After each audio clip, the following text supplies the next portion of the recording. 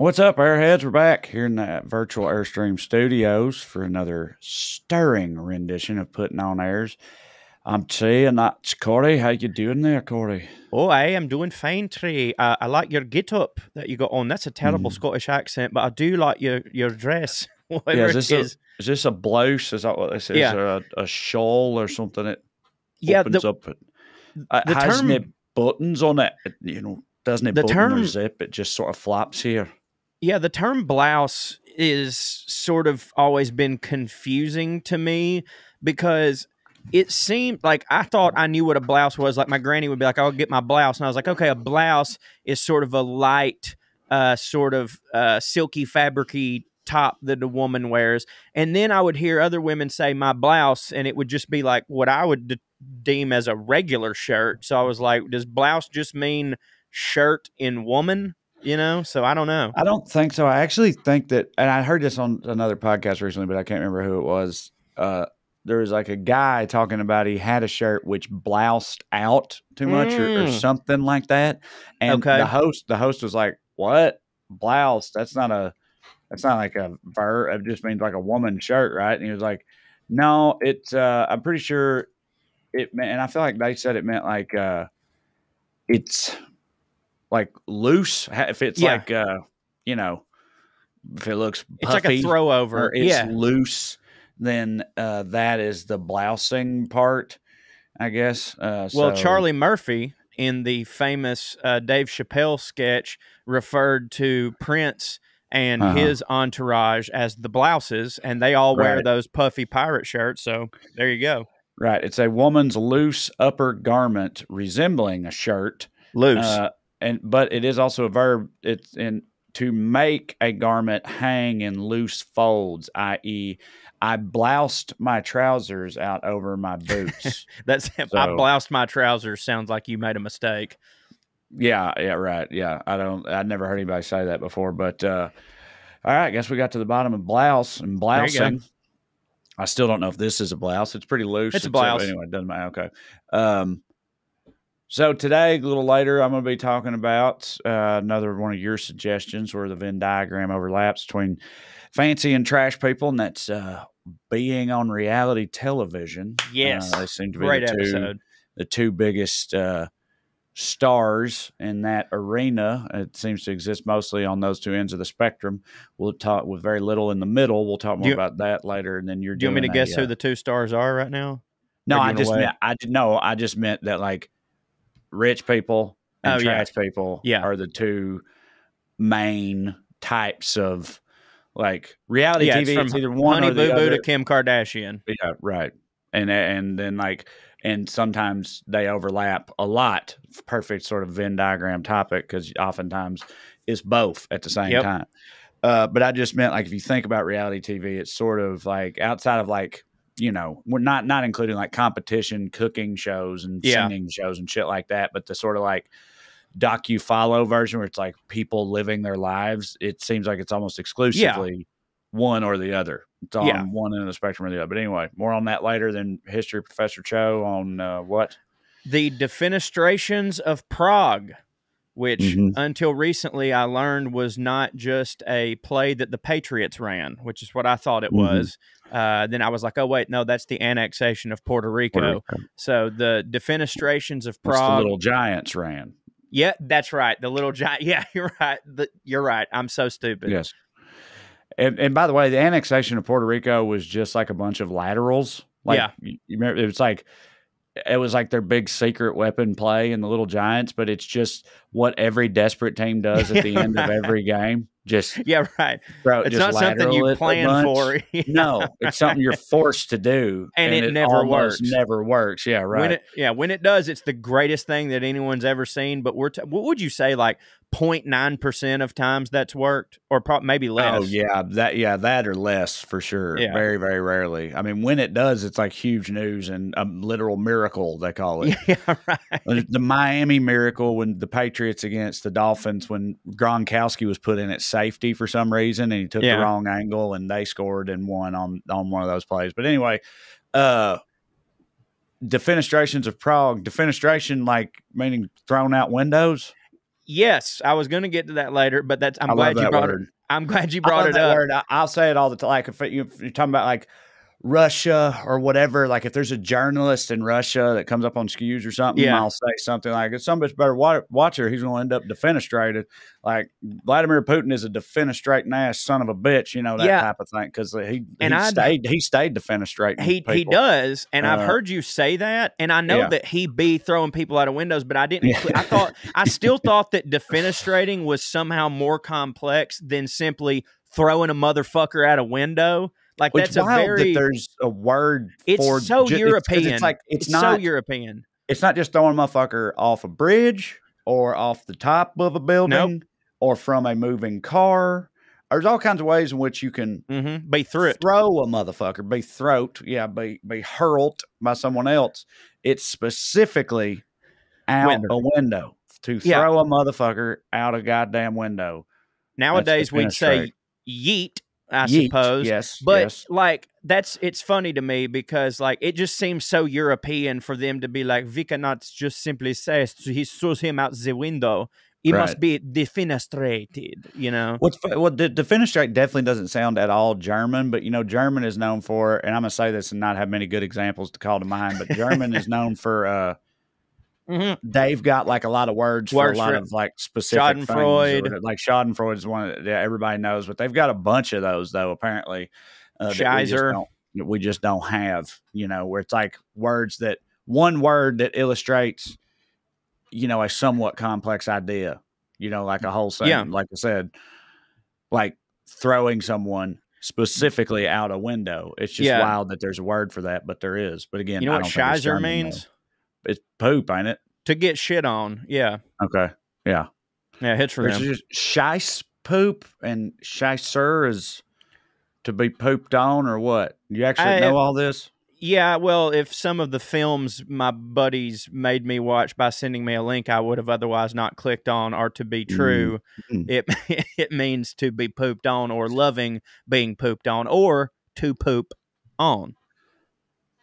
Well, speaking of poop, uh, listen, I got that's actually before we get into the topics, there was something I wanted to tell you about that I saw this week on the internet and thought it was lovely. But first, uh, Thompson, my best friend, uh, if you're part of the, if you're a longtime member of the extended Skewniverse, you definitely know about Thompson.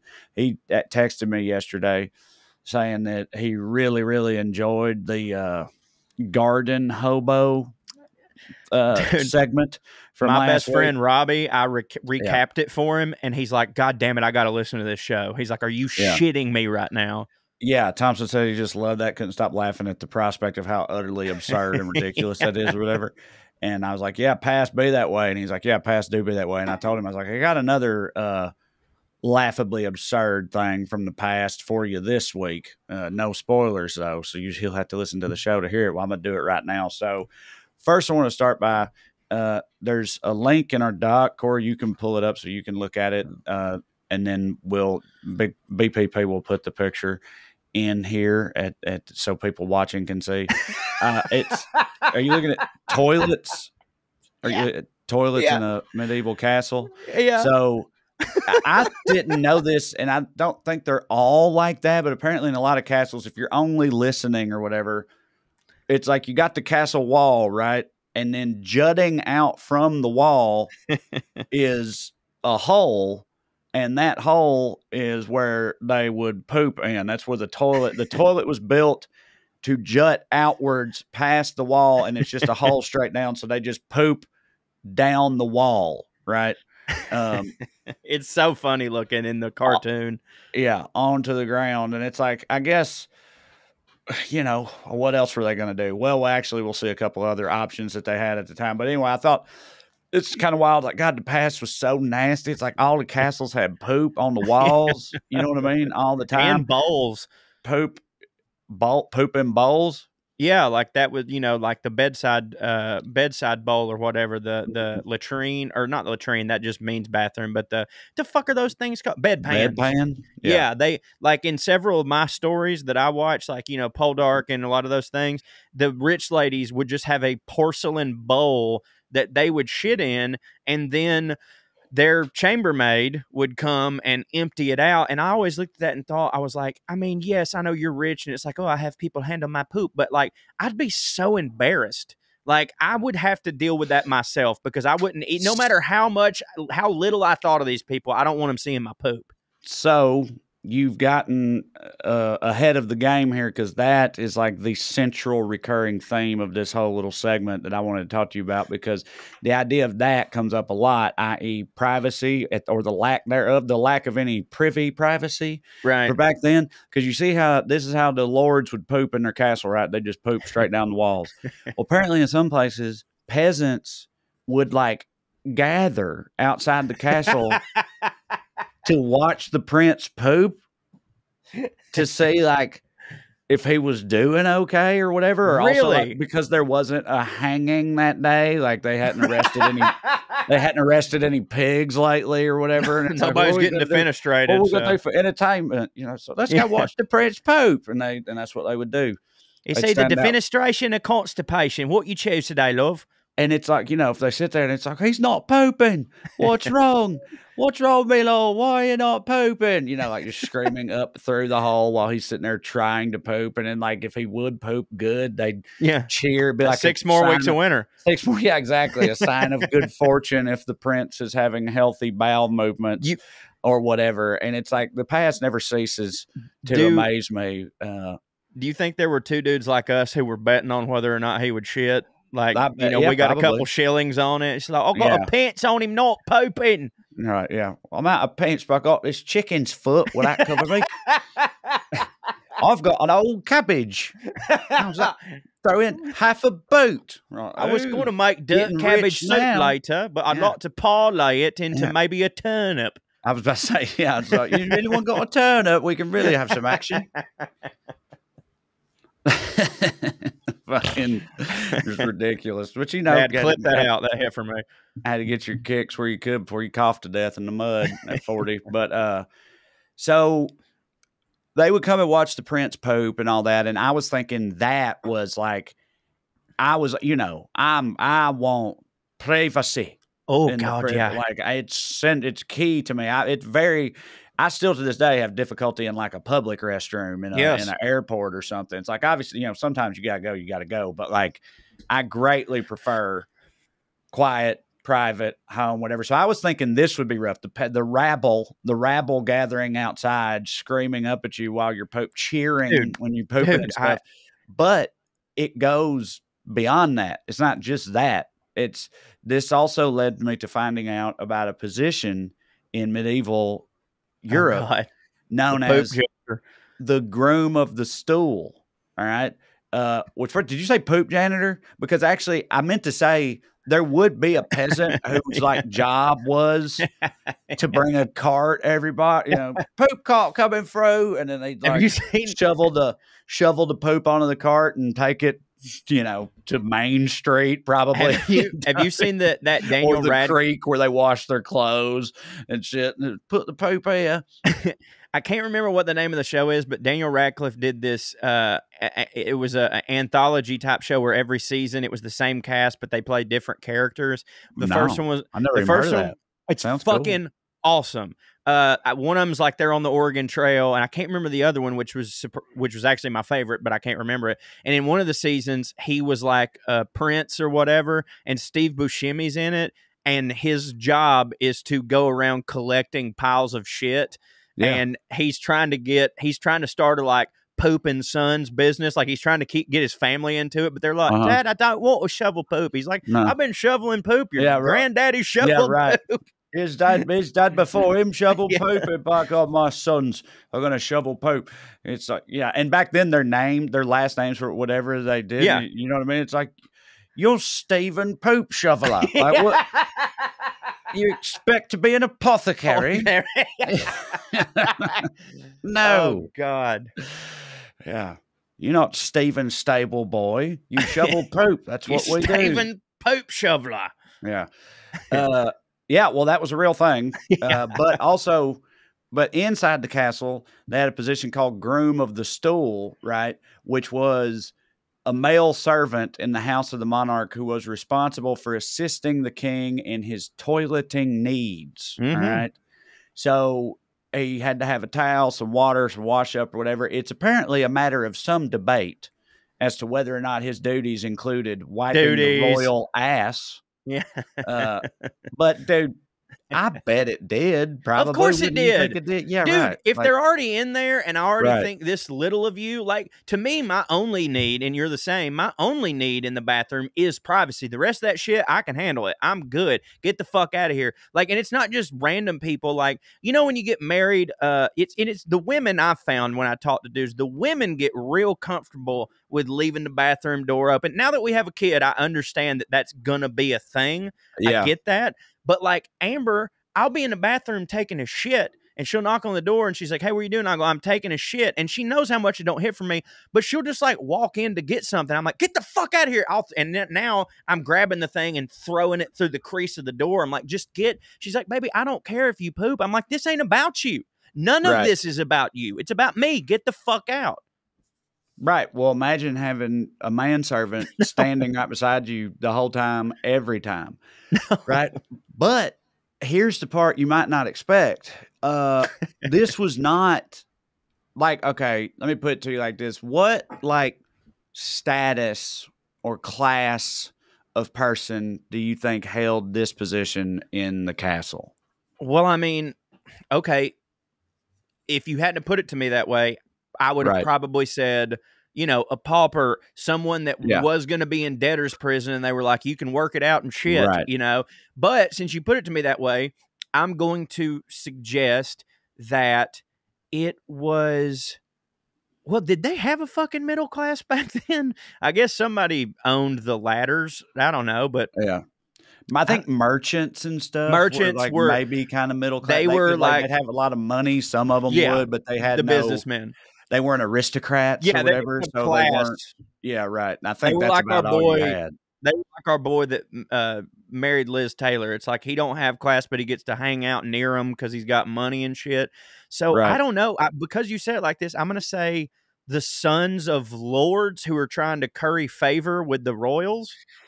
This was a hotly contested position that was generally filled by a very substantial figure from the nobility. Uh, there were people that, like some some of the grooms of the stool, were like wealthy landowning, uh, you know, dukes or no, maybe not duke, whatever, some kind of nobility who had like four manor houses and stuff. It was not uh, a pauper's job at all. It was one of the most sought after jobs in the whole monarchy. Do you Do- know why, or can you assume why, or guess why?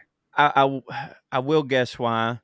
Uh, but first, let me say this: I've always assumed that the reason that you would want to have four estates and have a lot of wealth would be so that you didn't have to deal with any poop but your own for the rest of your life. C- clearly, I'm wrong. The reason I'll say why is because it is for those types of people, it is very valuable to get one on one time with their betters. And so they were like, listen, if this is how I have to do it, this is how I do it. But I can gain confidence in them. I can gain their trust. I can pitch them my ideas. I can sort of hear the goings ons that normal people wouldn't. And I can use that to my advantage to get a fifth house.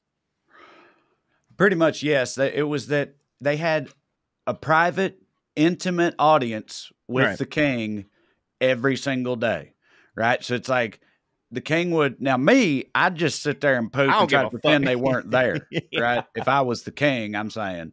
But I guess they didn't do that. You know, they would. uh They'd chit chat whilst the royal Shit poop chat.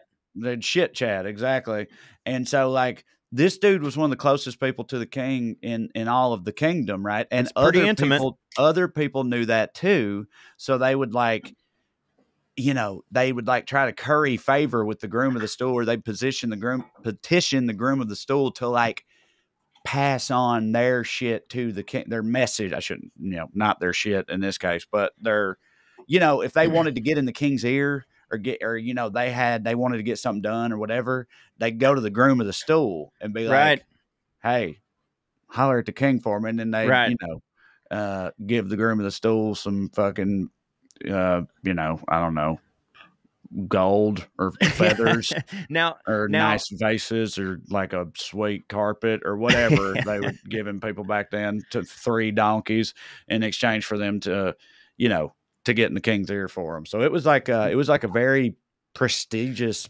position actually. and on, that note, I still will s- wouldn't ever fucking no, want to do it, fuck but no, I wouldn't want to do it. But I will say this on that note, and granted, I can't know how I would be as a prince or a king. Probably a nightmare. You know, you grow up different. Uh, you don't think of people as equal to you in any way because hell, it was God's divination that you're not to be that. But if I was me and they just made me king with all of my beliefs, and they were like, you have to have a a poop a, a poop caddy Pope boy, um, yeah. a poop boy, it would make me feel better to know that they wanted to do it. That would I'd be like, well, fuck, Yeah. they want to be here. You know what I mean? So let me LBJ this motherfucker out, and you know, Yeah, uh yeah, I hear you. You know, you don't want to you don't want to, you know, Resentful uh, poop a, shire. a disgruntled poop uh, poop squire. Yeah, exactly. You don't want that. Um yeah, so it obviously fell out of favor gradually over the years. It uh, went away. It came back. The position came back as the senior gentleman of the bedchamber. Right? that's Uh, the PC version. yeah, right. Exactly. uh, and when it was a queen instead of a king, obviously you couldn't have a groom of the stool if it's a queen. Right. So you'd Had to a have the, you'd have the mistress of the robes is what it was called when it was a, a lady, a lady who had to do it. Um, but Every it- time you think like, w- eh, were there not ever time? Did they stand near the king or the queen at all times? So when they decide, because I have to imagine people were shitting a lot back then because like you couldn't even drink the water because of how it had poop in it. You know. right, So I feel like people were co- probably shitting more than we do now, and not good shits, violent diarrhea shit. So like, were they just there in the bullpen, and it was just like, you know, come I on in so. here?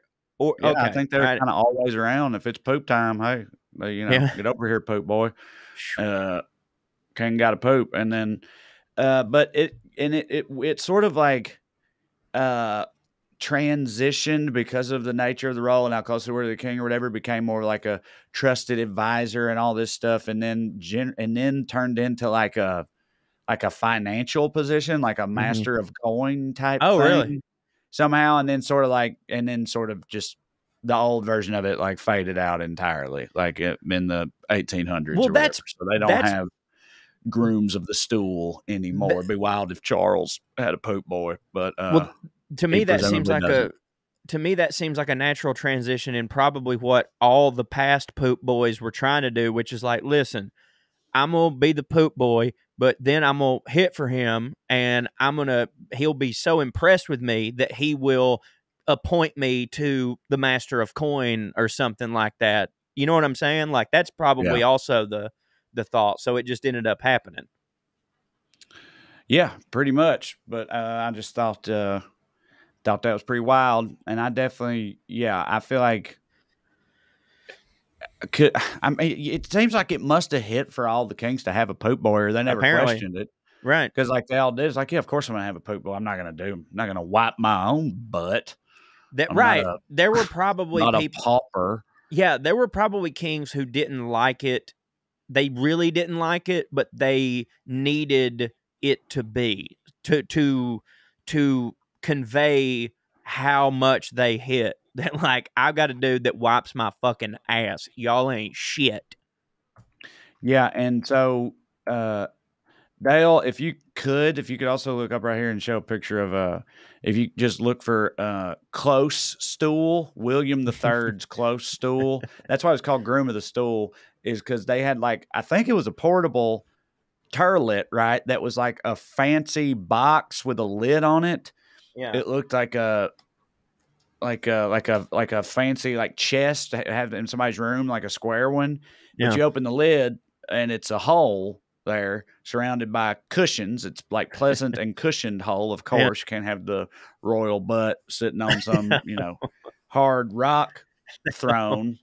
So it's like cushioned and that and the hole goes down into like a pewter chamber pot that's encased in wood inside the thing. So they like would, you know, you know, summon the poop boy, and then you know, Yeah. bring forth the close stool, and they'd lift the lid, and he'd just sit down. I guess wherever he was at. I might be misunderstanding that part, but I think it was like portable, you know, and he'd sit down and poop there, and then they'd close the lid and fucking haul it off or whatever. But it's a funny looking thing, um, Uh, knowing that it was exclusively for poop. It's funny to look at. um, pewter, and uh, obviously I can't miss the opportunity to say, or more like powder. Am I right? Powder, But mhm. pew- pewter uh, is the only the only knowledge I have of pewter is that that's what some early Monopoly uh, uh, little characters were made out of. That's a s- like a fancy soft metal, right? It's a soft metal. I mean, I know what pewter is. I know, like, I, I could, I know the color of it. If you saw it, like, oh, that looks like it's pewter, or whatever. But as far as like the quality of the metal or how uh, Yeah. expensive or whatever it is, I have no idea. But just according to dictionary.com, it's a gray alloy made of tin and copper. Yeah, Um, I used to hear tin yeah. and lead. I used to hear more about pewter, and I haven't heard m- much about pewter until you just said it. That's why I was wondering. Yeah, I guess you're right. I wonder what happened to pewter. It used to be big Pewter in the nineties. Fuck it, yeah, pewter fell off, dude. I don't know what took its place, but pewter definitely fell off. says it's the fourth most popular metal used for jewelry making. It was definitely like Um, second or third back in the day. It's fallen, Yeah, it's like uh, behind platinum, gold, and silver. right? Why is Hmm. pewter no longer used? Yeah, again, I thought it might. I said it used to have lead in it. And I figured that probably had something to do with it. that's but that- true. it said pewters containing lead are no longer used uh, due to health concerns stemming from uh, lead poisoning. But they started making it without lead. I thought, but maybe they were just like, yeah, let's not do Not this anymore. it. Yeah, Let's it's only four. Yeah, no hit. Um. Anyway, all right. So, getting into my subject here, Venn diagram, fancy and trash, uh, overlap in the world of reality television. This was number one, another one of your suggestions, and I immediately thought, yeah, that makes a lot of sense because it, it's as I alluded to earlier, it's either one or the other. In real, okay, well, first of all, reality TV, like. Where are you at on it? I mean, I think I know, but just for the audience, where are you Eh, at well, on it? Well, the thing is, is that it's a very broad genre. And I don't Right. like a- and so when you just say, Do you like reality TV? I have to go, give me five examples of what you're talking about so I can tell you whether I do or not. Right. Because the Great British Bake Off is reality TV. Right. That's and literally my favorite thing of all time. right So- and it's and it's great it's great but it is reality tv um there's uh, there used to be a golf show called the big break that was reality tv but it was game based you know what i mean and i Yeah. really like that so there's some i can't deny uh reality shows that i i do like but when i look when i think of the term reality and what most people probably think of they think of and also survivor's not that bad uh, even I though think Survivor's it- pretty great, and it- actually, and, it- also well, dude, Survivor was like the first the one. first. Survivor's it like started I mean, the real world exist, but Yes. Survivor was the thing that kicked off the reality TV Yeah. era uh, Yes. as we know it, and it's uh, you know. Not But- like not without cause. Like, dude, I went back and started watching Survivor again with the boys like last year or so, and we watched it like two or three seasons. But it's like it's, It's- pretty solid in my opinion. It's pretty it's not a basically- bad show. I think the point we're making is that if the format is good, we have no problem with a scriptless program as long as the format is good. If the format's good, you get people in there doing their thing. That's nice to see. What to me reality television evolved into is I mean, I, they all have a sort of skeleton format, but it's really just look at this dumb motherfucker do this dumb fucking shit. And Yeah. and I don't like the Real Housewives, dude. Fucking and listen, I'm serious when I say there are people that I respect that watch that shit. Megan Gailey watches that type of shit. Megan Gailey is a brilliant comedian, so I can't say if you watch that shit, you're dumb. But like, god damn, dude, like it's just it- Right. It's called scriptless, even though we know it's like this is so clearly scripted and badly so. So, um, I I guess really thinking about it, because you're right, reality TV is very broad. There's also I don't like them, but there's all there's all the music based ones, all the singing Yeah, competition I, stuff. yeah, I'm, are, I'm not. Those are reality TV too, and it. But they've ruined really, things. really, what I'm talking about here is like docu soaps or docu Yeah. follow the ones where it's like, look at this dumb motherfucker do this dumb shit, and everybody Yes. point and laugh at him. I'm not a and fan. I feel like in that genre of reality TV, which I thought was huge, but uh, and it is huge, but like it's not like far and away the leader in terms of the subgenres of reality. Of the top 10 most popular reality shows, which include all these kinds we're talking about, uh, only the Kardashians and the Housewives made the top 10. Uh, no trash based ones were in the top 10. Honey Boo Boo wasn't in- during Uh-uh, its the re- run. the rest of them, the rest of the eight were all like American Idol, The Voice, Big Brother, Survivor, whatever, like, you know, that type of thing, like competition shows or whatever. But that's only because Honey Boo Boo ended right. Like if they'd have kept kept up with that family, you, you don't think it would have dude, been? if you think about it, it's like Honey Boo Boo, like Honey Boo Boo was like a short-lived cultural phenomenon, but like the Kardashians were a thing when she was Oh, a yeah. thing, right? And they're Yeah. still a thing now. And like the Housewives sure. are just like Honey Boo Boo was just never on that level. I right, don't think. you're like right. maybe it was a flash in the pan. staying power, absolutely not. So, but It anyway, was but like Andrew Luck. It was here for a minute. We talked it up. It was great, and then it, right before our eyes, fucking out of here. Yeah. Um, but they are still huge, these docu soap kinds. But yeah, I have no patience for them whatsoever. I've never been able to watch them. But you think about those and you're like, these subjects are either like rich people Yeah. or trash. Yep. But Oh, even the ones where even the ones where it's rich, right? Yeah. I mean, I- Cops yeah, cops. cops Well, cops was like cops was before any of them, right? I Like, know, Cops yeah, 80s. super long running. People like don't even really think about cops as being one of those, but I, mean, I know. yeah, it is. Yeah, I totally just forgot about cops, but uh, the, I guess there are also the crime versions of it, like the And- first forty eight and some of that shit. That's another subgenre they have. There's the work like cr- the crazy jobs subgenre, but a lot Yeah. of times that covers you know poor people too or working class people, like fucking Dirty Jobs swamp people, Yeah. Axemen, you know, Dirty Jobs was good. It was a the good show. deadliest catch. Let me ask you about this while we're here, because you may not, because I'm just now considering it reality TV too, but maybe it would be in a subgenre of reality TV interviews, such as Jerry Springer, Ricki Lake, Maury, all these things. And with those, it fits under my narrative of they're actually scripted, but they're trying to pass that they're not scripted. You know what I'm saying? Yeah, so I've got I've uh never talked about this, uh, but I got duped into doing a pilot for one of those types of shows. Yeah. I felt like I was straight up lied to by the producer about what Yeah, it was they'll do going to that. be. And I got there and realized that's what it was, and I was so fucking upset. And uh, but thank God it didn't get made. The pilot never aired. Uh, but but in doing that, so it was very it was totally one of those daytime TV trash shows. Yeah. Right. And the pilot they were doing, they had a bunch of uh like, you know, liberal commentators or whatever, like including me. And then they brought out a bunch of Nazis. You haven't even Like, told me this shit yet. I was so embarrassed by the whole thing, dude. I mean, I pretty I'm pretty sure when it was happening. So, do you remember? Do you like when I as you? I wish you could see my face as it plays out. Like when I realize like what I've What's happening? what I've signed up for, whatever.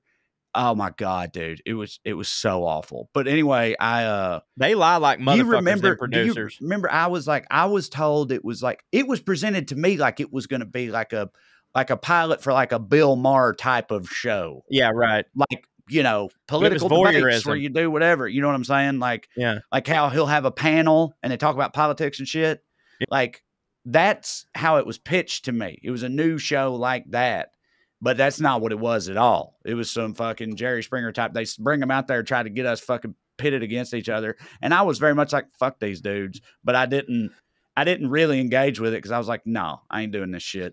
But but my, my whole point with it is though i will say in that limited experience, uh, they didn't, and maybe they were a lesser ran organization or whatever, but like they didn't give us any kind of uh, like script. They didn't like talk to us about like Right. it'd be great if you could do this. Here's what's going to happen. You think you could throw one of these in there? They didn't Okay. do any of that. Um, I'm not Well, saying to Jerry be Springer fair, the- didn't. I don't know the degree to which it. I'm just saying I have a limited experience with that To it- particular format, and it wasn't. They didn't do any of that at all. and- but maybe they're amateurs. I don't know. Well, I was gonna say, to be fair, when I did, uh, and this show didn't get picked up, well, it's the pandemic, but when I did the barbecue show, I thought it was gonna be like that too. And whereas like they have the winner and they but it wasn't they literally put a microphone on me and and just let me loose for 37 hours and they cut it down and it was all real you know Well, see, but on the flip side, and we talked about all this on a recent WellRED episode, but not on putting on airs, and it's directly relevant to the conversation now. On the flip side, I also once, and this was fun. I had a great time doing this, but I also once got cast in a comedy stunt show, a candid camera, Impractical Jokers type. That literally was a Impractical Jokers like production spin off. Yeah. Basically, yeah. right. That that never went anywhere. But I got cast in that along with Drew and his wife and our other buddy, and uh, and that making that pilot. It's not that it was scripted, but like they made sure they got good shit. You know what I mean? They would Yeah. like if you're out interacting in public, uh, you know, trying to get good reactions from in public, they might send a PA walking down the street. You know, somebody that works for the show for you to interact with. If right. the shot didn't work out or whatever the first time they would redo it again. So it's not that it was like scripted but like there was a lot of yeah you know tune a lot of, ups t- lot of tune-ups. Yeah tv Yeah. tune-ups which dude you you so- i mean you got to do I don't that have a if you're problem trying to make. I- good yeah. television. Of course i've never i don't have any kind of issues with that either. Uh but so anyway I, we just got off talking about our own reality experiences That's fine. uh, oh jerry springer i um he uh i didn't know did you know there was a guy named uh morton downey jr yes morton downey jr absolutely you remember was the- him uh, i didn't I- no, remember no, him no. at all I don't remember. I don't remember him. I have learned, and I, I'm gonna. I don't. Can't remember it right now for some reason. But I've listened to podcasts where uh, some old heads talked about Morton Downey Jr. and what he did for like that industry and shit. Like I, he was don't- like I- the proto Jerry Springer. I, I always thought that like I in my head it was like that daytime format, like Phil Donahue, Sally Jessy Raphael, Oprah. yeah. That existed, and then Jerry Springer came out and was like, "I'm really going to trash the joint up." Like, Right. I thought he, but Morton Downey Jr. was pretty much doing that in the '80s, Yeah. like ten plus years before Jerry Springer got on board, which I didn't realize. I watched Predator 2 this weekend, and Morton it fucking kicks ass. Morton Downey, uh, Morton Downey Jr. plays a version of himself in that movie, and I didn't know who he Nice. was, and then found out. Went and watched some old clips of dude. You talk about trash TV from the fucking eighties. This dude, Yeah. he's, smo- he's chain smoking the whole time. He's instigating everything. Let me tell you one of the jokes he said off the cuff, and it. he's talking to some lady, I think, about like the crime rate in America or something. And he's like, it was something like that. And he's like, You're really going to sit there and act like we don't have a problem? He's like, There were seven rapes in this city in the last month alone, and I was only involved in six of them. Crowd goes wild. Everybody's laughing their ass off. Great Got me, joke, it Mort. got me, got Yeah. me. And he did like he didn't literally drop the mic, but he hits her with that and then like spins on his heels and Yeah, fucking, you know, yeah, vamps and shit. Yeah, It's yeah. like, good lord, dude. We should It's do a special rewatch. Me and you should watch an episode of Morton Downey Jr. and and comment on it. But it's just why it's like all a lot of this stuff that we think it's like a sign of the decay of Western civilization or whatever. Right, It's but like it's been going on. It's nothing new, you know. Yeah, like right. It, uh, it's almost never anything new, and it reminded me of that. But anyway, shit, where was I? So yeah, it's always either rich people or trash people, and it's the the rationale. I you know looked in it doing my research. Nothing groundbreaking. It's just what you would automatically assume. As Middle to, class uh, ain't why do you think that is? Yeah, right middle class ain't interesting. but like why like it's built for the people in the mid and it's two different uh dynamics at play here but they're both very obvious meaning Well, it's Well, it's voyeur it's voyeurism Right. and it's voyeurism and in one case it's like okay uh kardashians they're fancy they're elite they're whatever the fuck but at the same time you go but our target is people who don't live like that at all because they like to live vicariously through them. Exactly. And now the opposite with Honey Boo Boo, it's a lot of people who think they're already better than us and need it confirmed to them, and they're looking at them Ex- as if they're at a fucking zoo. Exactly. That's exactly right. Yes it's like it's escapism for the fancy people versions right? And also it's like but mostly in both directions it's to like make people feel better about themselves Yes, or whatever. 100%. The, and the poverty porn versions is obvious why they would work that way but like with the rich people with like the housewife i was They actually thinking the real too. housewife exactly yes. Eh, Right. And I, I, feel like the real housewives are like the ultimate sort of Venn diagram example because like that's another thing. It's like they watch these fancy people rich and they got these nice lives, but they're also trashy as yes. fuck. Like the way they act and shit. Jersey and Shore. I think that like makes, you know, people just feel mm. better about of course themselves and everything. And they do live vicariously and all that. But then yeah, on the poverty end of the spectrum, it's very much a like, whew, well, I'm actually doing pretty good yeah, compared to compared to these motherfuckers. God well, damn. And, and not uh, only I'm doing pretty good compared to these people, it's also confirmation bias for a lot of coastal elites. Like they, you know, they look at that and go, "See, they shouldn't be able to vote. Look at them," you know. Right.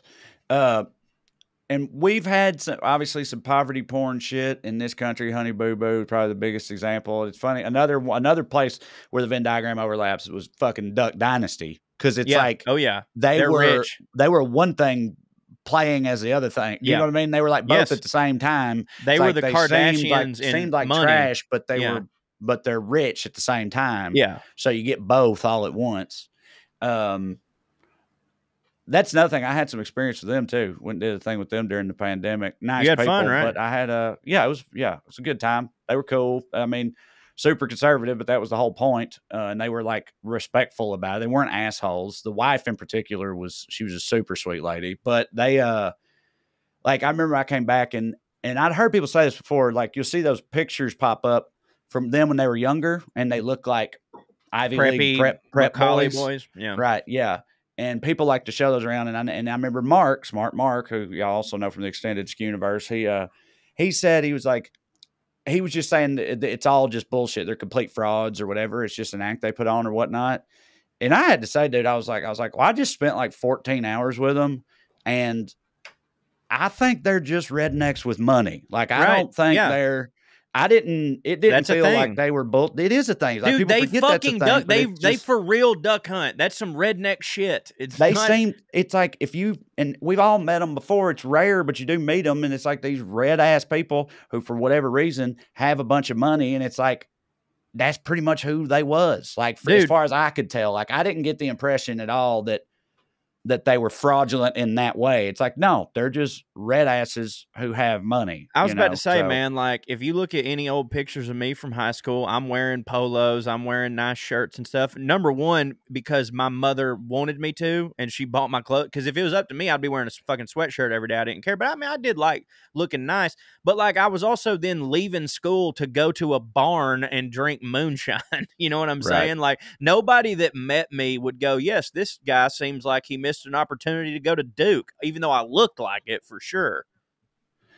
Yeah. Do you know? uh is Amber into these types? Of, like, do you know your sister or anybody? Do you, who do you know? My sister. That's into like the my fan, sister, the dude, the Kardashians or the Housewives or any what, of that shit. My sister is and my mom are super, and that's why I don't. That's why I I don't call them all stupid because I'm like, well, they and they tell me exactly why they're like, look, it's just mindless television that I just can unwind and just watch. We love gossip, you know, we're women that that love gossip. Not that every woman loves gossip, they do, but uh, my mom, my sister, and they they like uh brought Andy Cohen, he's like the godfather of like all this shit. And like they worship at the altar of Andy Cohen. And he has the housewives on his show all the time. And oh, they right. love that he's shit. got like a talk show, right? On, he has a Bravo talk show where he, okay. yeah, where he exclusively talks to stars from Bravo's uh, oh, reality okay. shows. And I'll be honest with you, I have been in the room when my mom and Kirby were watching that shit. And of course, was just like, Jesus fucking Christ, can we put it on anything else? And, uh, like I do get it. Like it is entertaining. Like they're saying some wild shit. Andy's really funny. He's drunk. He's calling them on their shit. And so in, in that regard, and dude, and, and well, you know what? Let me finish with this. I am a super fan of professional wrestling, and it ain't much different. So I really can't talk too much shit. Now I will say with wrestling, like it's an art. It's 100% an art. You have to be a borderline fucking acrobat. But when it comes to the storylines of wrestling, yeah, I got no leg to stand on. Yeah, I um Yeah, I've never gotten it. I mean, I do get it in how we broke it down earlier. I get like what the appeal is, but I just can't do it myself. I can't But, do it uh, either, but I understand. And then on the on the poverty end, again, we've had poverty porn. We've had some Honey Boo Boo, prominent example. Uh, I remember on our short-lived podcast, Bubba Shot the podcast. We Thanks, covered, Drew. Uh, we covered the song. Yeah, it was tremendous fun. We should bring it back. He should bring it back. But it was a we covered the song "Lifestyles of the Not So Rich and Famous," which Great is from song. like '92 or something like that, like early, like before Real World was even Yeah. a thing. And I remember listening to that song again for the first time in a long time, and I was like, I was like, dude. This Yeah. song is like prophetic. Like Yes, this song is, is, way ahead of its time because it's Yeah. like the whole thing is like they're going to put us on the lifestyles of the not so rich and not- famous. They're going to watch us go hog wild over beans and barbecue. Yeah, And it's just he like predicted Honey, Honey Boo Boo Boo Boo, and all yes. that type of shit back then, uh, which I thought was pretty wild. The- but the, the song's even more of a banger when you consider that because like I I always thought I loved that fucking song and then like you pointed that out on the show and I was like dude this is fucking insane and Yeah. it- yeah but we can't hold a candle to another country uh, in terms of poverty porn. What country do you think is way more obsessed with poverty porn than we are? oh that's a holy shit I've I've never even considered it so like so I need to be thinking of a country that is known for being poor maybe No, uh okay okay known all for right. being classist. okay so uh, England yes, England. Really? Yes, I didn't. I don't. Yeah. I see. I'd watch these shows because it's research for the show. Uh apparently it's a whole thing over there and they get a lot of shit for it all the time but they've got stuff like a show called benefit street which takes place on a street in birmingham where 90% of the uh, the uh, residents are on welfare and Yeah. it's just like a docu follow thing just like a jersey shore thing but with these poor people and it shows them fucking doing drugs getting hammered robbing Ah. liquor stores and shit That's right? gross. and everybody just eats it up yeah Just watch The Uh, Wire. Right. Yeah. And then there's there's another one called Britain's hardest grafter or something, which is like What? yeah, I think something's getting a little lost in uh, not translation. yeah, because there. grafter is to graft a thing onto a thing. Yeah, but also isn't a graft like a? I mean, I know there's a grift. There's a grift, Yeah. and you know, but like, I anyway, whatever. It's where they take like 20 poor people, and you have to be either unemployed, underemployed, or making just barely minimum wage. Like they have a cutoff. The poverty limit in England, whatever it is, it's like 29,000 pounds or something like that a year. You have to be under that to qualify. They get 20 of them on there and pit them against each other in a in a bunch of work related tasks. No, it's to see to determine who's the hardest worker, right? And Okay. whoever's determined to be the hardest worker gets a job. no, just the amount of money that's the poverty. I said the poverty limit over there is considered to be They twenty just get that. They just get that. They just Dude. get that and then and leave them at that. It's like Dude, this is all you, it's all you need anyway, right? There's so You've many been making it work with less than this. right. So There's so I- I- many people that would look at that. They would a lot, so many people that I know would look at that and go, "Well, like, hey, they're giving them an opportunity."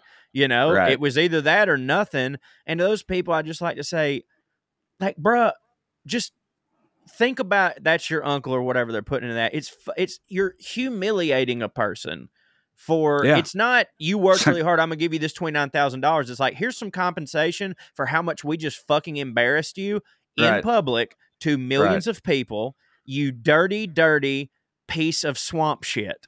absolutely. Then there's another one called uh can't pay, we'll take it away. Uh Where they get their cars. repoed and stuff. Yeah, it's where people it's when people can't afford to pay their bills, so they show up and take their Dog shit. the bounty hunter just and uh, it's just yeah, and and uh, and that's the whole thing. But just the name of it, dude. Can't pay, we'll take it away. is- Yeah. It's just so, And that's a don't know. show. It's so They funny, just- but it's a show. Yeah, They just turned repoing into a show, which, like a guy said, Dog the Bounty Hunter. At least that one, the person's done bad things, you know. But right. fuck me, man. So yeah, it's like a whole thing over there because they're just like so class obsessed. You They know what are. I mean, Yeah, dude. Uh, I mean, it's so wild. we are in we are in America as well at a certain to a certain degree for sure. But like England's way different. And I'm not shitting on all our English fans. I think that most of y'all would probably be like, yeah, it's pretty raw, isn't it? Um, over there, that no one. I don't know. There's not this sense of like it's eh, you know he's just a hardworking England man. You know, it's like Right. it's like they we don't they don't really have that. It's just like you're either posh or you're daft. You Yeah, know. or you're a f- yeah, you're a fucking chav or whatever. Yeah. Right. Uh, so in closing, I just I looked up a couple like uh, uh, other examples from things that I had forgotten, and now I remembered of just like ridiculous examples of these types of things. Do you remember Joe Millionaire? I always thought Uh, this. I always thought this one was was kind of funny. I mean, it's I- definitely fucked up, but I, I, thought I it was funny. remember. I remember the name, but what was what did he do? Joe Millionaire was like uh it was uh, played like uh Fox's version of The Bachelor. It's like this, yeah, yeah, yeah, yeah, rich, good-looking dude that all Yeah. these women have to compete over, right? yeah. Mhm. But and they don't know, but the truth is he's a construction worker Yes. who makes like twenty thousand dollars a year and ain't got Yeah. a pot to piss in. That's kind of fun. And they're all throwing themselves off. Yeah, but but so there was there was that one. It got drug, obviously, and then this one was in uh And now Thi- I, I think it's different. I think that one's different because it's exposing people's shittiness, and I'm for that. Right. Put that shit on display. Yeah, I know, but it's still it's also like the yes, it's exposing the shittiness of gold diggers or whatever, but it's still also just being like like but you think he's great. Yeah, But here's a he don't twist. He don't But it hit. turns out he don't hit. Little do they know he doesn't he don't hit. hit. Yeah, right. so a similar thing I'd never heard of, maybe you have. Uh it, have you ever heard of I Want to Marry Harry? Was it like Prince Harry? Yes. And he it's 12 signed up for this shit. No, no. That, that's the whole point. It's like it's oh, 12 they think he did. they think it's 12 American women who are vying to marry. Obviously, this is before Meghan and I'll that, watch vying- this shit, dude. Vying to marry Harry, the Duke of Sussex, right? But it's just a look-alike actor. It's not him at all. Oh the whole my thing God. is a lie. and I, dude, bet- again, going back to what you were saying, a lookalike into it. yeah, it, yeah, they they are with him the whole time. It's like The Bachelor with Prince Harry. It's just Oh it's not actually Prince Harry. And you're talking about exposing the shittiness of gold diggers with this one too. I'm kind of like, dude, if you are fucking dumb enough Yes, to genuinely believe you. that the actual Prince Harry is Would do doing this. some fucking dating show bullshit like that on reality TV in America, you know, I mean, turns out he is an attention whore, but still, if you yeah, think right, we're fucking, right. Then you're you deserve it as far as I'm concerned. It's gonna be fucking- so hilarious when Meghan Markle and him get divorced and he does this for real. Cause I could see it. I used to not Right. be able to see it, but like I could see it now. That yeah, dude. Like that's the type of shit. Like if you're tricking like when you were talking about earlier about the grafters or whatever, like tricking poor people and and you know, whatever like that's wrong. But if the if your show is tricking gold digging dumbass whores, like I'm right. I'm for that. I could sign up for that. Yeah, this one's not really fancy or trash, but I think you'll think it's funny. It was called Best Funeral Ever. it's about a funeral home where they throw these wild, lavish funerals for people, uh, including one episode featured a a deceased former bowler whose family remembers her by sending her casket down the lane for one last strike. So they roll her casket down the lane into the bowling pins and shit like that. And that one's just uh They should have thrown her, greased it up a little bit. yeah, that's a bit silly, isn't It's it? a bit but silly. um, did did it get a strike though? I mean, of course it did. It's huge. of course, it's a big ass casket. Yeah, But I was just uh, thinking, like the wheels under it is it's not the casket's not going. There's the wheels, so there is a possibility that you end up with a seven ten, and that would be so fucking funny if Yeah. she gets a seven ten split on, on her, her last, her last roll. yeah. They just kill All a right. baby and pick it up. Then the last one, and we'll uh we will move on. I remember this one too, and this one's funny to me, and just how like how early two thousands it is, I guess, and how, just like how it would never happen today. But Fox had a, a reality show called The Swan. Do you remember The Swan I- at all? I- I do, and I think that it was it was they dressed they made an attractive woman out to be ugly. no, no. Was it They- the opposite? Yes, they cast a bunch of ugly women, right? and then like send them to the dentist, literal Yeah. plastic surgeons, makeovers, new hair, all this stuff. But it's like just trying, you know, trying to make them worth something. You know Yeah, what I mean? Like, yeah, right. And they seem like, they hit. it's just yeah, right. But they didn't used to. It, but it's so like it's just so wild That's to me. how crazy. it's like it's so crazy because it's like we all know the woman's value is directly tied to her physical appearance. So we got these worthless broads, right? But not Dude. to worry, Fox is coming to the rescue with a team of crack surgeons who will turn her in to a good-looking whore. And they, uh, they like imagine the casting for it too. It's like yeah, right. You're we're an ugly looking- broad. yeah, we're looking for for ugly bitches, right? Exclusively, and then and you know, some people though, like, got denied. Or oh, like, oh yeah. well, not that No, ugly. You know what I mean? Like, It's like- no, something we can fix. yeah, right. Well, and that's like if you look at if you go back and like Google some of the people contestants who are on there. Some of them in their before pictures, it's a little bit like that. Not another teen movie scene Right. where it's Take like the glasses She's off. got a ugh, she's got a ponytail and glasses and paint covered overalls, but it's like Yeah. a supermodel underneath. They've got them in all Yeah. like frumpy clothes, no makeup, making ugly faces and shit, but they're So- not bad looking. Do you and think so their like- trick was like they found women and intentionally made them a little bit uglier just for the Yes. before shoot? I do think Yeah. that. Yes. Yes. I think they were looking for women that are like not ugly. You know, they're like, we don't want anyone really, uh, not actually. Just people that would We just need people that we can make it seem like Yeah. they're ugly. People who would TV. Yes, And people who would only ever be on TV in this specific circumstance. Right. Yeah. Yeah. So thought that shit was wild. There's also one called Black and White, I think it was, where they literally put white people in blackface and put black people in whiteface, and then had them like, yeah. That one, I, that one was produced by Ice Cube. I think. I think that was an Ice Cube joint. I'm pretty sure. Sorry, Cube, if I'm getting that wrong. It was some. It was I would like a, a, prominent black celebrity uh, was involved in that one. I remember, and it was supposed to be like social commentary and all this stuff. You know what I mean? But it's still like it's you know in my mind it's pretty 50 out cent. there. Yeah, in my mind it's 50 cent. Well, I will back up for just 2 seconds. I'm going to say my piece, but I think it's an important thing to say. Uh the Swan show, right? That was in what, like 2005 or something like that? 2003, I think it was. It was like early early 2000s for sure. s- the 21st goddamn century. So I know there's a lot of people who uh, fall on different sides of the spectrum when it comes to the women's empowerment movement and the Me Too movement and all that shit. There's some people like, oh, they're being, they're, they're, you know, they're just over, uh, overreacting to all this shit.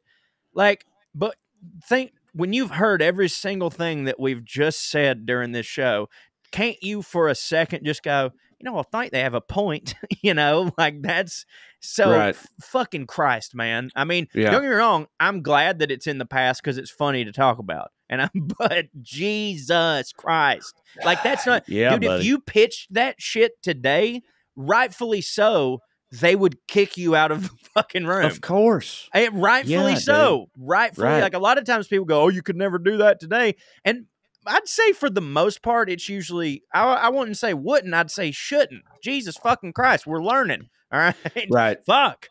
That was a uh, was produced by Ice Cube, by the way. I looked it up just to Okay, verify real right quick. on.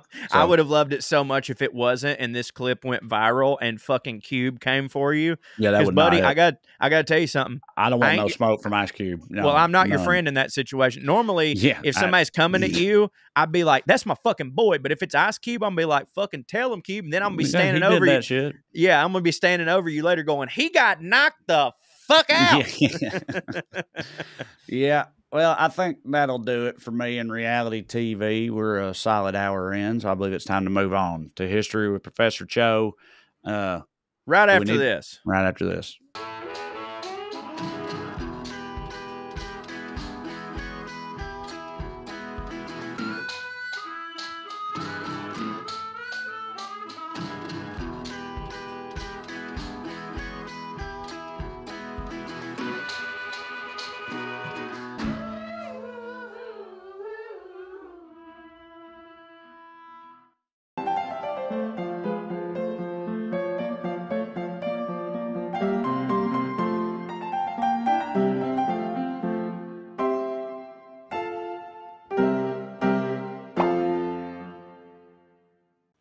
We're back. It's time for History with Professor Cho on the subject of the defenestrations of Prague, which, as I said up top, all I know about that, I don't know anything about it. I, I maybe I've heard of it, but I can't tell. But I, it seems to involve people windows things people being thrown out of windows, and I guess in Prague. Yes, uh, that's a great yeah. guess and is As- and that- true. As to why or what was Mhm. going on there, any of that stuff, I don't have the slightest notion.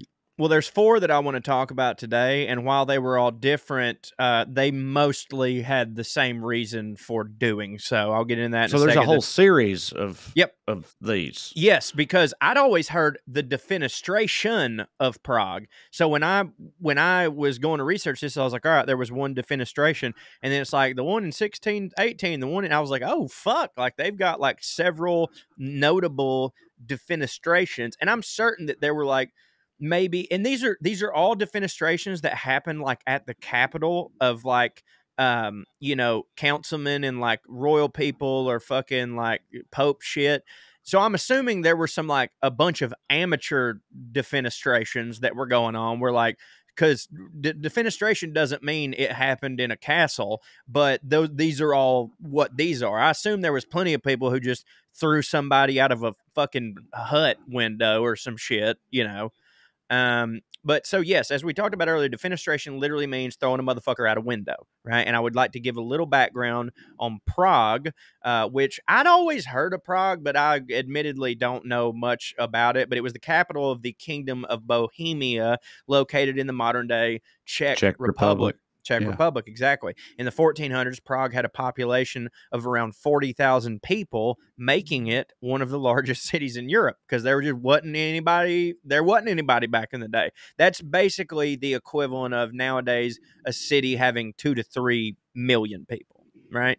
But like back then, that's before we. Uh, that's for the baby boom, I guess. Like, goddamn, like it's it's wild the exponential rate with which human population has grown. like we just Mhm. and the Earth ain't getting no bigger, baby. It ain't Mm-mm. getting no bigger. So no, you know. need, need to figure the moon out. we need to Or Mars. them- yeah, it was also like uh it was like the uh, cultural center of Europe and such. Like they had a bunch of theater stuff going on. It was a very fancy place.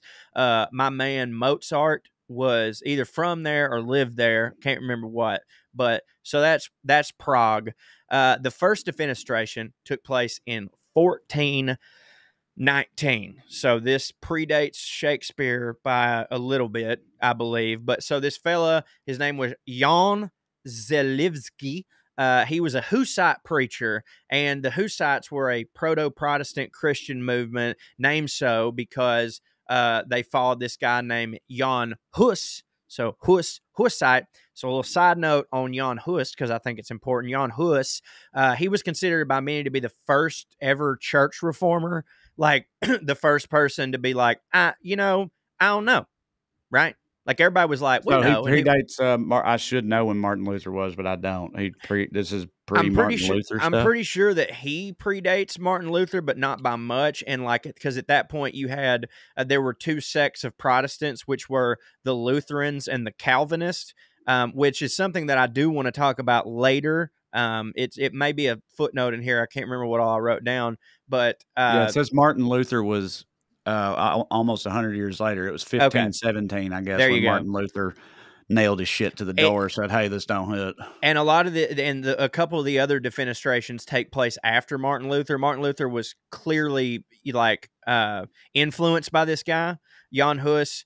Uh, like I said, the first church reformer, the first person to just be look at the church and be like, that needs to be different, right? Mhm. So, and as you know, And you couldn't uh, just you couldn't just say or do that shit back then. no matter. you could not. It was not a time that was uh, amenable to the idea of saying that needs to be different. Uh, right. They were like, no, different don't hit, same hits, and now we're going to draw and quarter you for implying otherwise. Yes, one hundred percent. Uh, because as you know, the Catholics they historically do not like reform, and I would- I would say this: like back then, you definitely didn't do it. You still, if you do it now, you're still going to face consequences, but it won't be defin- def defenestration or like you're not going to get murdered because we have laws that protect religious freedom and stuff. But of course, back then that that wasn't like Thomas Jefferson hadn't wasn't born in to save their lives. You know what I mean? So right. So they they Catholics ain't with this, and so Pope Alexander V issued a decree or a a papal bull. uh, that effectively excommunicated Jan Hus. And we talked about Mhm. excommunication on a previous episode. This means that basically, in the eyes of the church and uh, in their opinion, in the eyes of the Lord, you're fucking out. Like, uh, y- I think it's uh, notable to point out we did talk about excommunication specifically in the context of it happening to a pig. So That's I totally forgot that it was a pig. But yeah. So he's excommunicated. It was never like basically they said it. They were like you're you're excommunicated, but they never went through like the process of making it like formal. So it wasn't like technically enforced. Uh, regardless, he lived the next two years of his life in exile because he was like, God damn, dude, the fucking you seen what these Catholics will do Uh, to a kid, let alone me. What the fuck? So where'd the He lived- exile into? Do you have that in there? Like uh, no, I don't. And I should, as I was reading this, I was like, because what happens when I'm writing these notes? I'll I'll read all these stories, and usually I'll see like he lived the next two years in exile, and then I'll be like, okay, cool. Now I got to find out where he was in exile, and I'll go all these separate things. And I was just on such a roll that I fucking didn't. Like I did the whole, you know, side note on the what I'm doing is a side note right now on Jan Hus, but no, I don't know where he lived in exile. Let's just say, uh, at Rome. He was in Rome, right? Well, because it's always fucking- like exile. They stayed exiling people back then. Yeah. and it's like I know sometimes it's like an island they get exiled to or whatever. But it's also always been funny to me, like sort of like there's no. It's sort of like when like uh, one of our governors today will ship a bunch of Mexicans to another state or Yeah. whatever. It's like the other state is like, what the fuck? Well, hold on here. Why we mean? Like- got him? like the yeah, like that presumably happened with these people too. Like you just show up and be like, "Hey, I'm here. I've been exiled here," and they're like, well, "We didn't sign off on that, but apparently, you know, you could just do that." Well, like, no, two- you got to deal with him now. two things. That's funny, but two things. I think that him living in exile was like his choice. Like I don't think they didn't because, like I said, they didn't enforce this. They didn't actually exile him. I think it was him being like, I don't really need to be around these motherfuckers right now. It's not safe for me. You know, they haven't like legally enforced this, but they, they don't want me here. So I don't think So when he was like more on the run or on the yeah, lam. Or whatever. yeah, just just kind of like Laying yeah, laying low. He was laying Yeah. low, and I would say you know back then it was different. Like it's not like they had pictures of people and shit. Like wherever he went to live in exile, he could have just said not. I'm a different person. He could have just said a different name, and they wouldn't have been like, "That's the man that the Mhm. said that the Pope uh, sucks," you know, Mhm. or whatever. Uh, so he lived in exile for the next uh, worst uh, worst type of exile, by the way, in my opinion, is being set adrift. Uh, oh yeah, No, that's the don't wanna be worst one. adrift. if you're going to pick being exiled, it's like you choose different country over being set adrift. Oh yeah, but that's a- no, the old the old Eskimo papaw. Yeah. nobody wants that, dude. yeah, no, hell no, just that, sent out on an ice floe into the sea. That don't hit. So he lived in exile for two years until the Catholic Council got together and asked him to come speak out of nowhere. They're just like, "Hey, we want you to come talk to us." And by the way, uh, it, it's safe. Like you're cool. Don't worry about it. We just want to talk. We just want to hear your opinions and maybe that we can like you know reach some common ground or something. Uh, but uh, when he did, they threw him in prison. Right? He just got there. He started talking, and they were just like, "Yeah, fuck all that heresy." Uh, so they they they and then they throw him in prison and they come to him and they're just like, "Hey, dude, all right, you're in prison. You was talking some shit that we don't like, but here's the deal: if you will just recant your views, we'll let you out. You can go back to wherever it is you were. You can stay here. All you got to do is just be like, "Yo, motherfucker, I'm wrong. I Pope see that hit." now. Pope does hit right." Mhm. Uh, to which he said to them, I would not for a chapel of gold retreat from the truth. Uh, queer. And so, Mhm. so naturally, Trae, what do you think happened next? Did keeping it real go wrong? Keeping it real went real wrong. Yeah, I figured How do you think he died? Getting thrown out a window. No, they burnt him at a stake.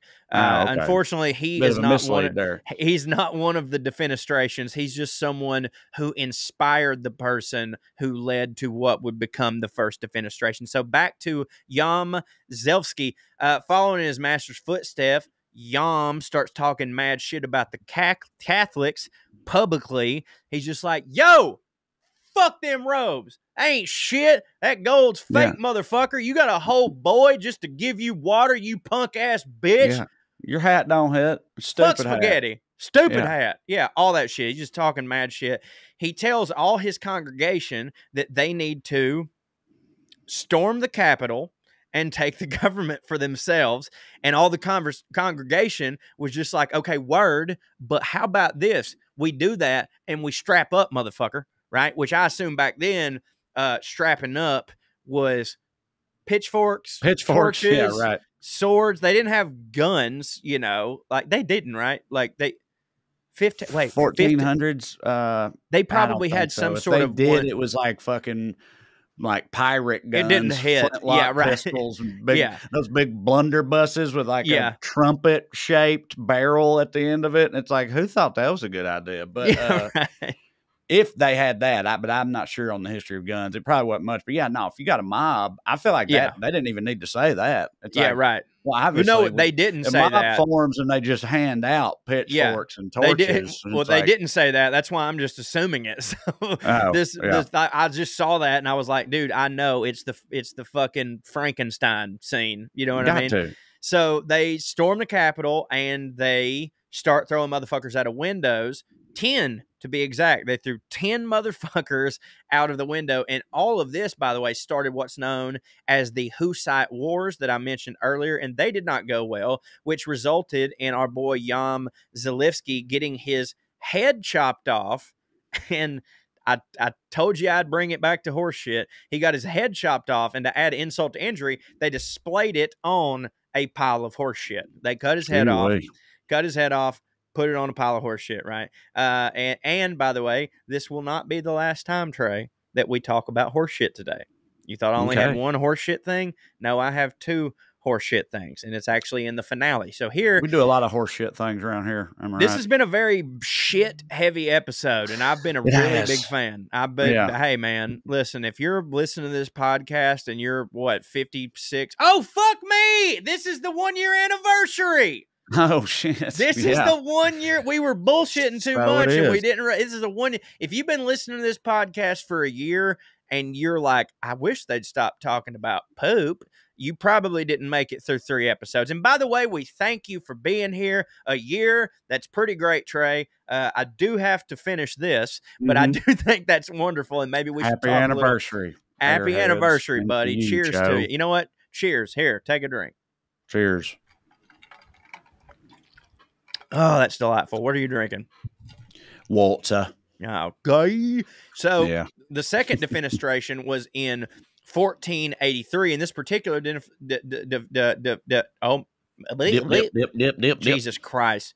This particular defenestration, uh, I, I I couldn't find. There wasn't as much information. It seems like this one was sort of a blip in the defenestration world. Uh, so this is going to be really short and sweet. So King Vladalisis, I'm certain I'm saying that wrong. King Vladalisis the second of Hungary was the king of Bohemia at that time, but then he also became the king of Moravia and Hungary, and all these people from the party of the communion under both kinds, clunky name if you ask me, which means, by the way, that they accept two different versions of the Lord's Supper. I think I, I read two things about it, and all I can grasp is that, that when they their their whole party is based on. I think it's okay if you take eat the crackers before the wine. I think it's okay if you drink the wine before the crackers, and that was that was it. That was their. Yeah. That's his. That's his. Back much, then, the way shit worked back then, probably 600 people lost their lives over the course of that debate. Uh, you know what I mean? Crackers first, wine first. Fucking yeah, crusade happens. and that's Yeah. what. Yeah, and if you were a, a party of the communion under both kinds, you were as you were as much tolerant as it got back then. like just saying Yeah, that. Like, they were the yeah, they were the, the they're like I'm with you fellers Yeah, of the uh, of the Exactly. religious sects at the time. Exactly. Well, they were afraid of the new power that this dude had because now he's the king of like three different places. Uh, so they t- they also stormed the Capitol, chased seven councilmen up to the top, and in front of the Burgermeister, which is one of my favorite fucking titles that you can Yeah. have. Uh, I failed also to. I've always wanted to know what a Burgermeister was, and even when writing my notes here, I didn't think, "Hey, go figure out what it is." That's hilarious. You say Uh, like, oh, hits.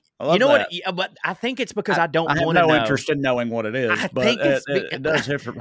I think it's Absolutely love that word and its existence. Like, did you look at what it means? No. Why would I do that? because I I think. know it hits for me. I don't need to know what it means Can you guess why I don't want to know what it means?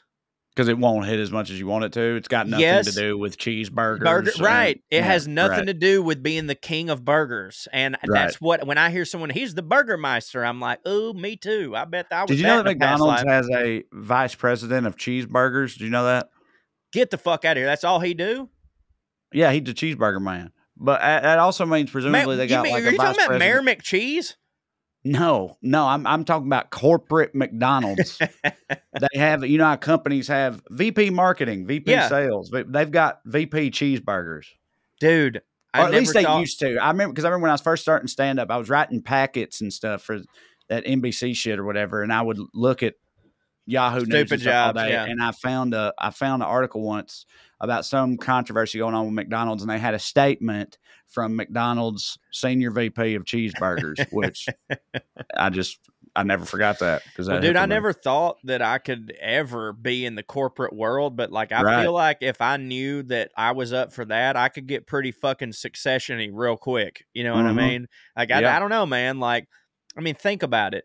Look at me. Don't you want me to be the VP of your cheeseburgers?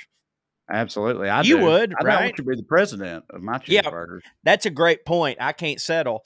Uh, so, anyways, they stormed the Capitol, chased seven councilmen up to the top, and in front of the Burgermeister, they chunked them out the window. The key difference here is that they killed them first, and the throwing out was merely symbolic. It was symbolic because once, when the first defenestration happened, they were like, okay, this is how you incite change. You know what I mean? It's the throwing out of the windows. It's a symbolic thing. So um, they they do this in front of the Burgermeister, and Burgermeister's just like, "Oh no, who's gonna hear me thoughts on burgers?" You know, or whatever. and then while he was like leaning over, looking at him, they fucking they threw the Burgermeister out the window. He was still alive when they did it. Uh, from what I think I've read, it's like he they they probably just like Burgermeister's here, and one of these fucking defenestrators probably kneels in front of him and then somebody pushes him out the fucking window like kids used to do on the uh, playground. That's what I think. So that's all about that one. Uh, the third defenestration, 1618. So we are how many years? Uh, we're, you know, we're 200 some odd years past the second defenestration. So believe it or not, there was more uproar against the Catholic Church, Trae. Are you shocked? Mm-mm. No, there would be more uproar. I agree. I agree. you know what I mean? Frankly, it's insane that it took them 200 years. So, but you know what that means? It's about time someone gets through out a window again. yeah. So there is a But so far, aren't they the people that have been thrown out the windows? Aren't they the ones that are not? Are they the Catholic? Like they're like the powers that be, aren't they? Like a mob, an unruly mob storms the Capitol and throws people in the Capitol out of windows, right? yes, they're the So unruly it's mob. not the rebels that are being thrown out the no, windows. no, no, It's no, the- man. It's very Okay. successful. It's basically it's Protestants um not wanting to be ruled by Catholic and all the leaders are Catholic because you had to be back And then. they throw all the Catholics out the window. and they throwing all the Catholics out the window. So yeah, dude, I'm Mhm. fucking on board. You know.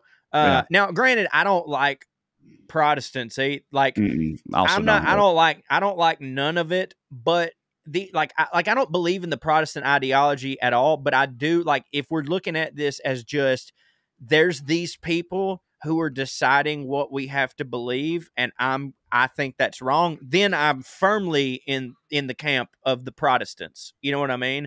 But Okay, it but, is- uh, like, are they literally?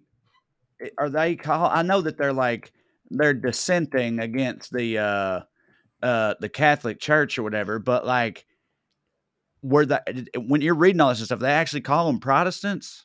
I don't know that they did or not. I mean, I thought because Protestants, that's what Martin Luther did, right? Like that started with Martin Luther. Of course, you're now 200 years later. But Yes. that first guy, that first guy was 100 years before Martin Luther. And again, I didn't even know that there were people talking shit about the Catholic Church before Martin Luther. Uh, Uh, right. I thought that was his like whole thing. Well, I mean, it, he it's like he made it big. You know what I mean? He was It's- like successful. it's kind of like us in our careers. term. It's kind of like us in our careers. We were the first people to espouse uh, progressive ideology with our accents.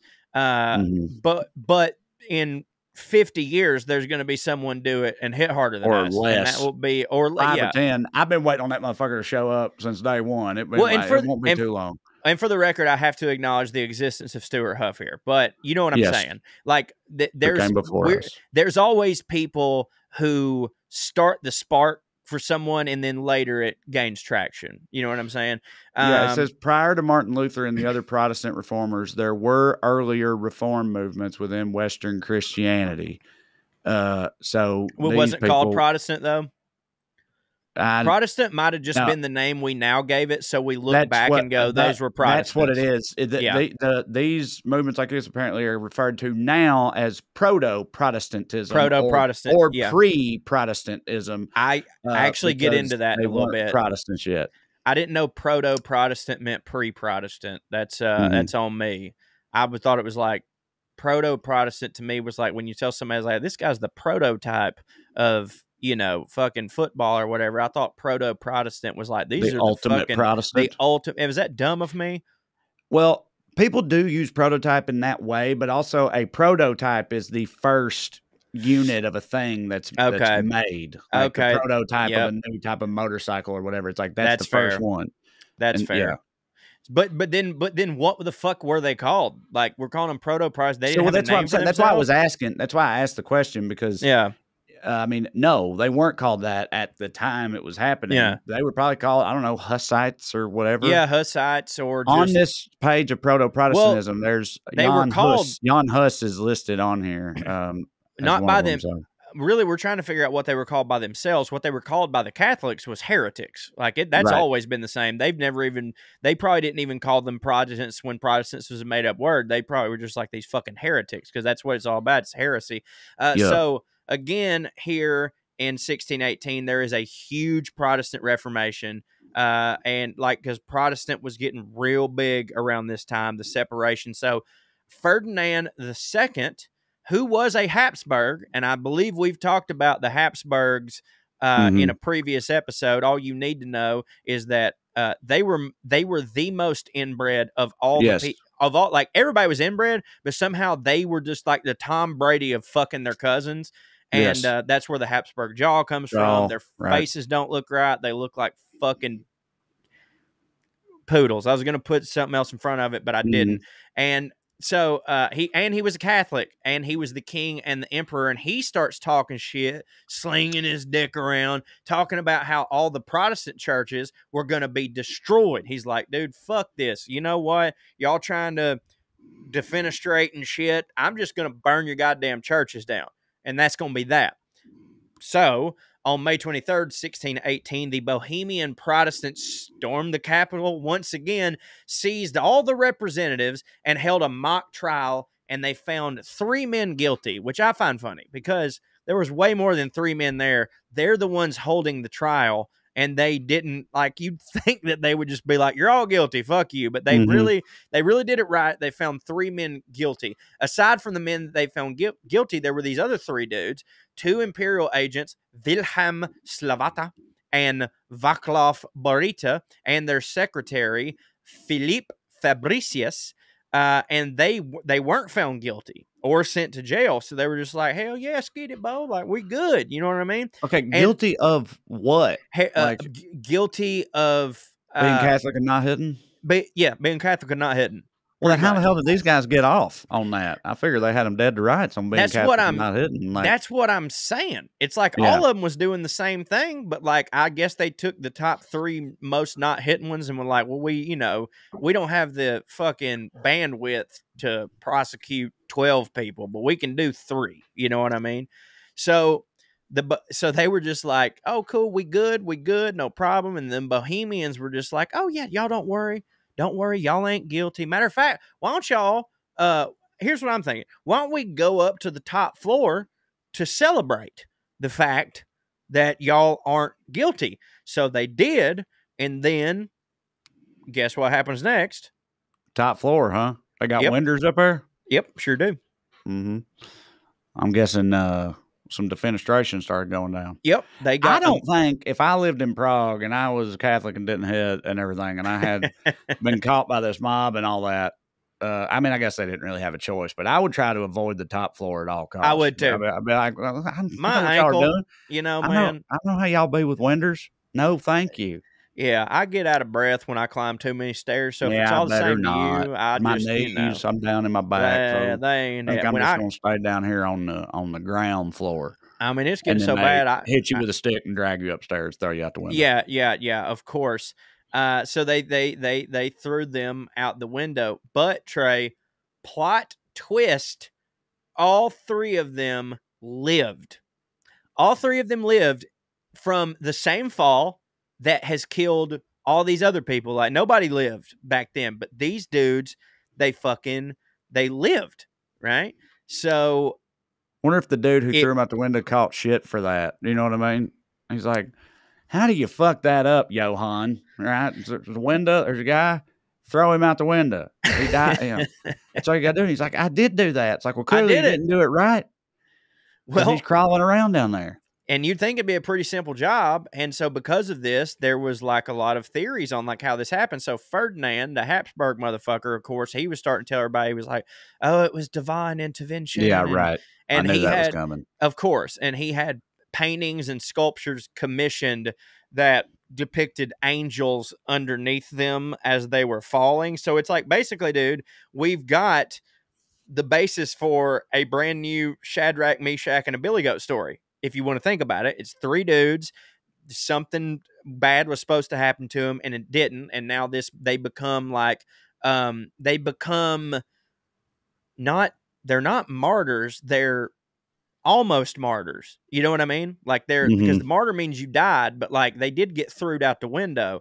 Um, now, a lot of the Protestants respond to this by being like, "No, it was the devil saved them. The devil saved them." Right? Right. Right. What actually happened? And I told you we were going to come. neither of those things. was neither of those things, Yeah, and I I can't believe it was neither God nor the devil. and I uh, t- I told you we'd get back to this. What happened was they Oh. all three fell on a pile of horse shit that broke their fall. It was a stay with me here, a coup d'état. Ah. Ah, yes. So that means that the local poop shoveler, yes, that's where he was keeping all his poop for that day. Yes, Because it and- couldn't have just come from one horse. Like that had to be shoveled into a poop pile.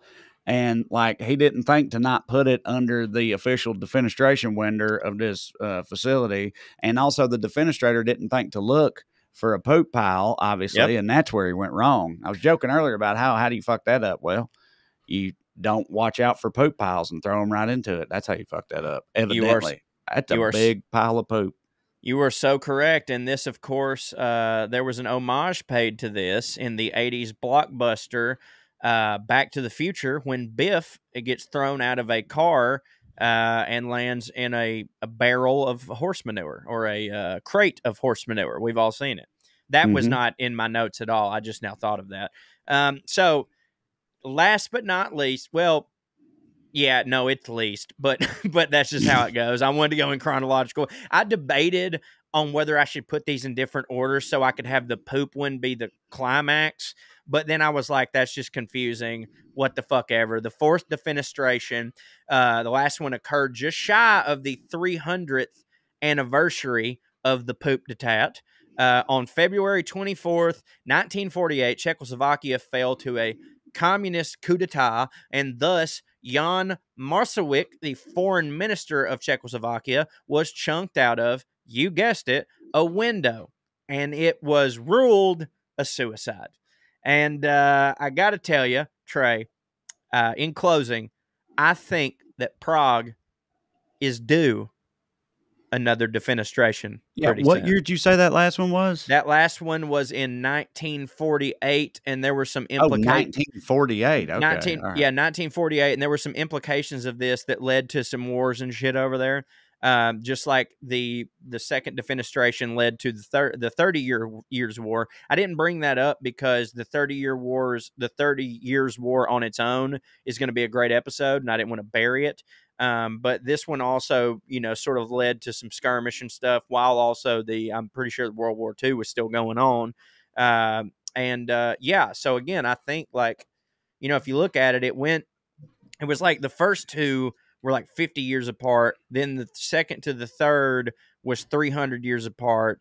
And, or no, excuse me, the third to the fourth was 300 years apart. So I'm thinking like maybe split the difference. And we are, let's see, we're 80 something years from the last defenestration. So, like, I mean, fucking any day now, if you're in Prague, you might get third out of winter.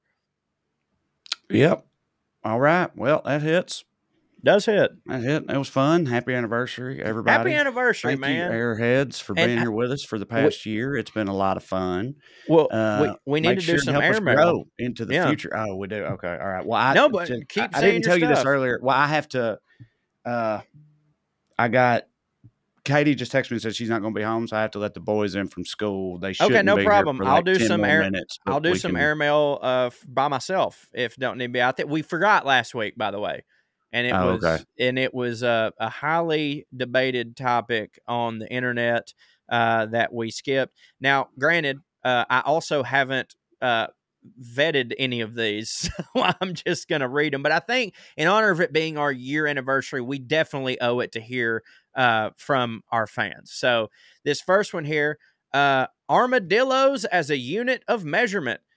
Apparently, this asteroid is the length of 33 nine banded armadillos. No news on how many armadillos worth of overall volume or mass. Also, I've been noti- noticing more of them up in Tennessee too. Never used them as a kid. I'm hey, listen, I want to use this as a jumping off platform to you tell to tell everybody the shirt that you saw at your show. Oh yeah, uh, yeah. Let me pull it up real quick, so because I can't remember Please do. all of it off the top of my head. But lovely Send it, young, send it to Dad too, so he can put it up. lovely young lady came to my show in Frederick, Maryland, wearing a shirt that she had made herself because our lazy piece of shit asses won't make no goddamn merch, and we know people want it. We got to figure that out at some point. But her shirt says animal math: twenty-five beetles equals one squirrel, fifteen dogs equals one horse. Big dogs are big. Seven squirrels equals one dog. 175 beetles equals one dog. Look that up. 2006 2,625 beetles equals one horse. Checks out. That's fucking beautiful. We love y'all so much for real. Like I we me and Trae have said this about every project that we do because it always comes true is that like we have the best fucking fans in the world. Uh you call us on your our shit, which is great. I mean, I don't read those on air, but like you're awesome for doing it.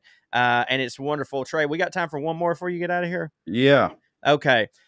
Subject line I once went on a trophy tree shopping spree. Hey guys, congrats to Corey on the baby. He did the smart thing like I did by losing his hair before children, just to get it out of the way before the stress hits. Thank you, asshole. uh, I'm writing to confirm that trophy trees are absolutely a thing. A friend of mine used to do landscape engineering for Augusta National Golf Club. Motherfucker, holler at me. Uh, when that big ice storm tried to murder Atlanta years back, the course lost a handful of 75 plus year old loblolly pine trees. The club wanted to keep up appearances and the difficulty of the course, so they charged my buddy with scouring the South Carolina slash Georgia coastal empire for mature replacements that could be uprooted and sent to Augusta. I don't know shit about what makes one big pine tree better than the other, but he let me and another guy ride along on a few weekend trips where his travel and dinner and booze and other incidentals were fully covered by that club. I was present for him identifying trees suitable. Uh, identifying three suitable trees and noticed that there was no discussion of price. I asked if it had been listed somewhere, and he laughed. When he got tasked with a job, he was just supposed to get them what they wanted. He had an address for any bills that needed to be sent and was never given a budget for any work that he ever did. I could also tell you some fancy people stories about how insane the Sunday night party is at the night after the Masters, but the club might send people to kill me. Keep up the good work and the good times. Uh, buddy, please private message me with those stories. I won't publish them, but me and Trae, I'm, as y'all know, a huge golf fan. The Masters is coming up next week, and I'm really pumped about it. But Trae, buddy, I love you. I want you to go see your kids, but also to tell you, it's been a fucking pleasure being here for a year. It's the funnest thing I have ever done. And uh, tell your friends so that they can Mhm. enjoy it. Please. Also, TraeCrowder.com for tickets to Yeah. see Trae and the WellRED Boys. Patreon.com slash Trae Crowder for bonus Trae. And for bonus me, PartTimeFunnyMan.com. Love you so much. Stay fancy, motherfuckers. Skewy. Say you bye. Skew. Here's Lydia Loveless. One, two, three, four, one, two, three, four. Royalty and rednecks are alike. They both like cutting and picking fights. Biscuits and baked beans where they don't belong. Sit on down with Corey and Trae and learn some fancy shit today. We'll laugh a little even when they're wrong. They'll take you to a magical place where if you call someone a cut, nobody cares. They keep it debonair at putting on airs, putting on airs, putting on airs.